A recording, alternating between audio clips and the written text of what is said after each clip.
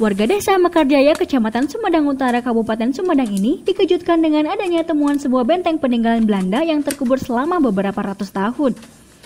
Puluhan warga bahu-membahu melakukan penggalian dengan menggunakan alat seadanya. Bangunan tua yang diberi nama Benteng Batra ini dulunya digunakan sebagai lokasi pengintaian musuh Belanda. Jika cuaca sangat cerah, dari atas benteng yang memiliki ketinggian 50 meter di atas permukaan laut ini, dapat melihat kawasan pesisir Indramayu dengan sangat jelas.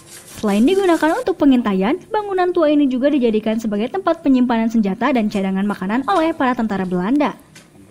Pada tahun 2004 silam, warga setempat pernah mencoba melakukan penggalian, namun hal tersebut urung dilakukan lantaran keterbatasan alat dan biaya.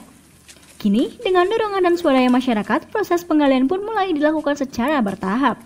Eh, apa tertimbun rumpuran lah, sedimennya cukup tinggi, juga di sini cukup lebat, pepohonan dan lain sebagainya.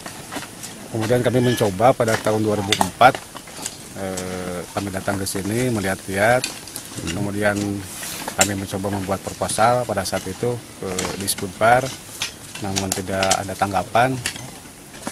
Eh, terus kami mencari investor lah. Kebetulan ketemu dengan eh, sekelompok masyarakat komunitas komunitas yang namanya Paguyuban Sumedang Larang.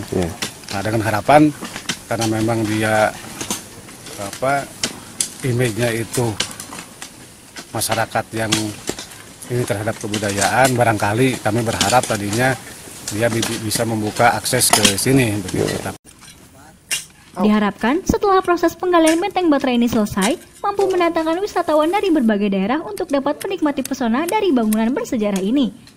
Dari Sumedang, Jawa Barat, Abi Prambani melaporkan.